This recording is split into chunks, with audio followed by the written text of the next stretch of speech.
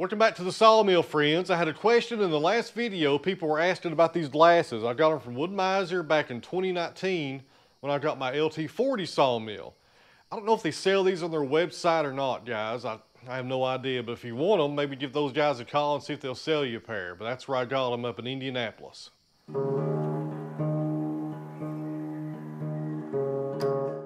So we're down here in the timber frame today. I've got a couple of things to work on.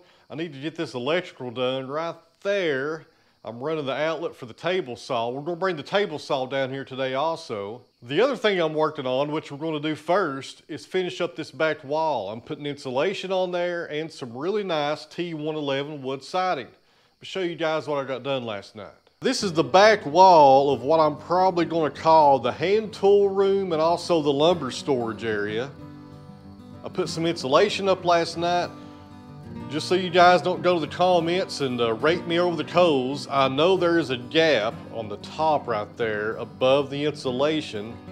I put spray foam up there, so that's okay. So don't get too worried about that, friends. Don't jump in the comments on me just yet. I'm sure you'll find something else in this video that you don't like. so uh, that's what we're doing right now. We're putting the insulation up and on top of the insulation, I'm using the T111. I think that's how you say it.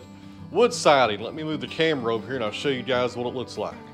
So right here's the siding. This is pretty much pine plywood with a nice face on the front of it. A lot of people use this for exterior, but I think it's gonna look good on this back wall for the shop. And I know guys, I know. I'm with you on this. I have a sawmill and a kiln and all this wood processing equipment, why am I buying siding to put inside my shop? Well, the reason being, I need to start building some doors. I need to bring my woodworking tools down here. I need some shelves and some storage, and I need it now. So that's why I went ahead and invested in some of this siding and the insulation to get this wall completely finished so I can start moving all my stuff down here. It's been aggravating. I'm trying to build stuff and I have tools in two different shops and I'm tired of running back and forth. And if you're interested on the cost on this, this is a 30 foot wall for the insulation plus the T111 was about $450. Not too bad.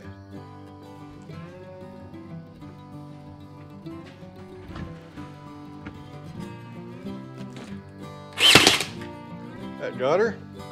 If anybody's curious, I'm using two inch brad nails on my little uh, nail gun here to attach this to the wall. And I think that's the proper way of doing it. But if it's not, let me know down in the comments below, you guys that's hung a lot of this stuff, because this is my first time doing it. And I think brad nails is plenty enough holding power to hold this up.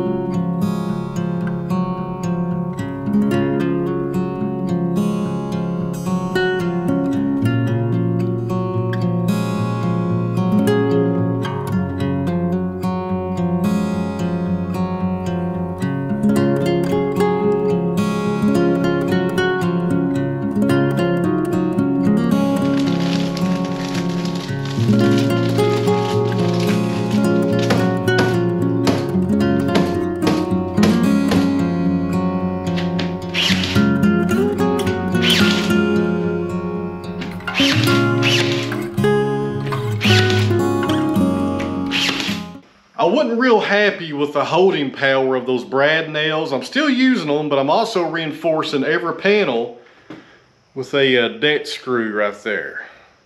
That's making it a lot stronger right there. I noticed with the brads, it was kind of not getting a lot of good pressure against the wall. With this right here, I'll put about four in per sheet and the brad nails, we should be good to go, hopefully. I'm gonna grab some lunch here, guys, and I'll be right back. Don't go anywhere. All right, guys, I've got it finished up. I have one more piece over in the corner, but that's gonna wait. I gotta get some more insulation before I put that one in. But, it's pretty good. What do you guys think? Some people paint this stuff or stain it. I think I'm gonna leave it just the natural color. What would you guys do? Leave me a comment below and let me know. It might look good if I paint it, but I kinda like the natural wood look. Here's what the layout's gonna be in here. Right here on this side of the wall, we got the miter saw. I still need to run two outlets over here, one for the saw and one for the dust collector.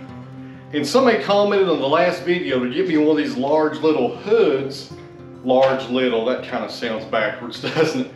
It looks pretty big, I guess. It's a hood that goes over the miter saw. I may try that for the dust collection and see what happens, but the miter saw will stay right here on this side of the room. Here on this side of the room is where my workbench will be right here in the middle. I'm still using that Harbor Freight workbench you guys might have saw in videos about four years ago.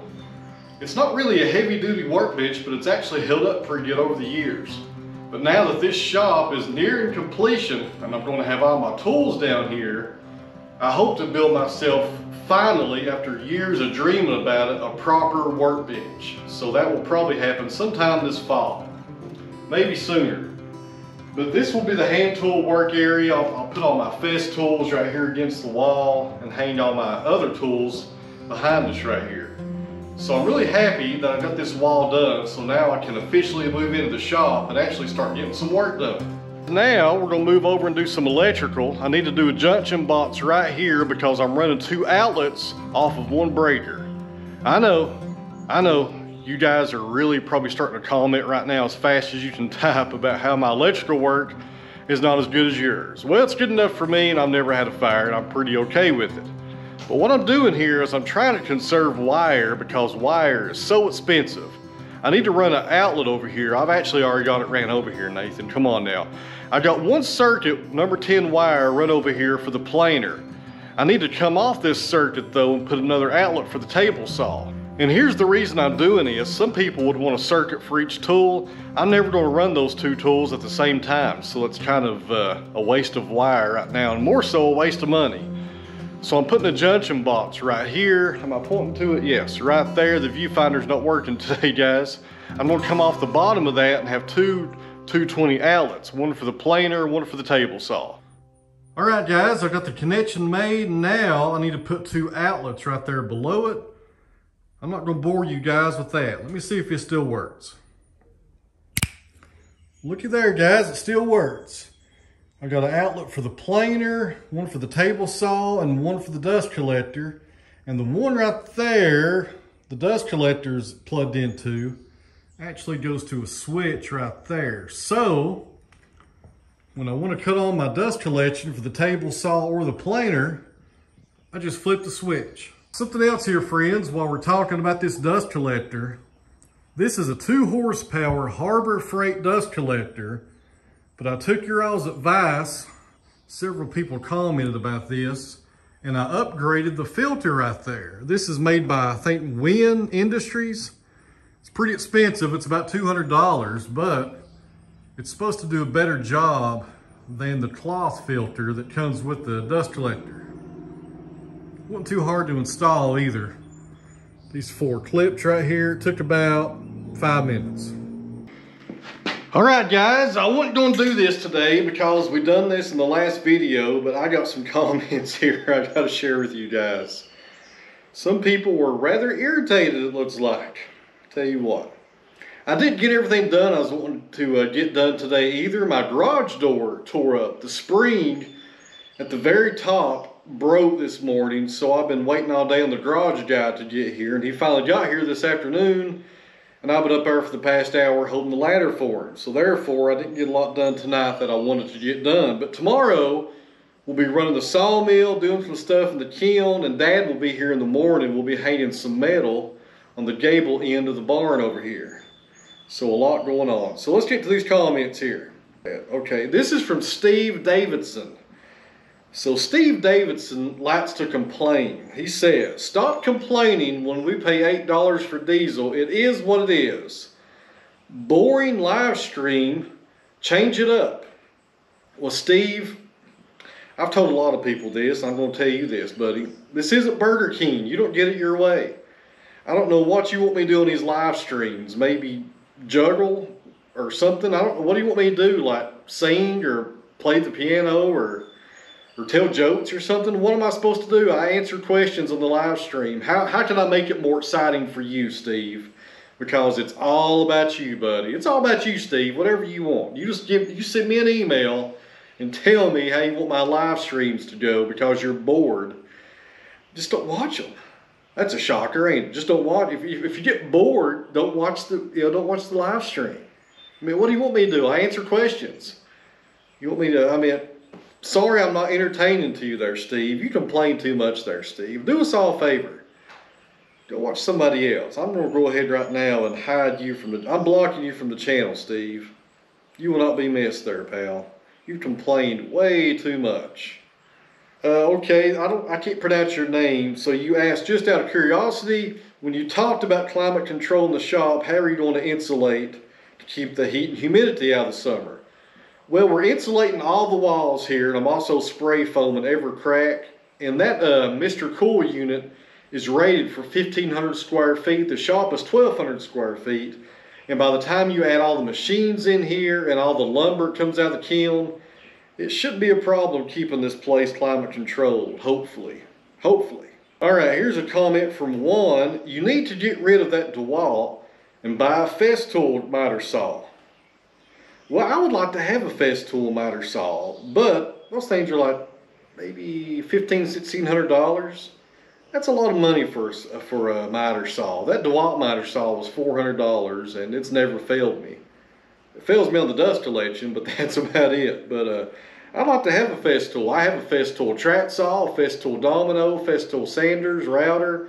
I got a whole lineup of Festools you guys, or most of you guys haven't even seen before. I'll be bringing those down to the shop probably sometime this week. All right, here's a good comment, guys. A little inspiration for some of you all. Frederick Bays. Okay, Frederick says, hello. Actually, he says something else. Take the O off of that. I am 73, been doing physical labor all my life. I can still pick up 100 pounds and walk away with it. Can't do it all day as I did at 50, but I can still do it more than a few times a day. I work 12 hours a day on the farm.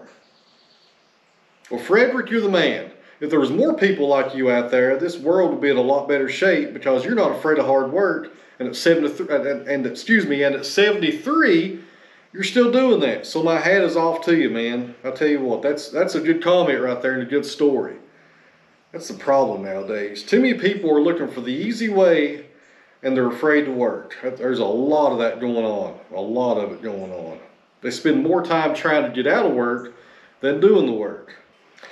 Uh, Moms, M-O-M-S, says, have you ever ate one of those guinea fowls? I have not. Now, I had a guy from Africa here last year Hinko to help build the kiln. And he said that was a, a delicatessen, if that's the right word, delicatessen, or delicacy? Delicacy. I can't talk, guys. He said that was a delicacy in Africa. And he was giving those things the eye, to be honest with you. I was trying to wonder if he's going to grab my knife and go grab him one for dinner. But uh, I've never never ate one, never thought about it. But uh, Probably tastes similar to chicken, I would imagine. Similar to chicken. All right, guys, here's another good comment, and we will end with this. Don't want to end with nothing negative. There's plenty of negative comments in here, but I usually delete them or ignore them, or I just block them from the channel. So this is from Dennis uh, Strasberg. I hope I'm saying your name right, Dennis. I appreciate the work you do, and I'm sure your family does too. Going into my 80s, I wish I could do more. I miss it.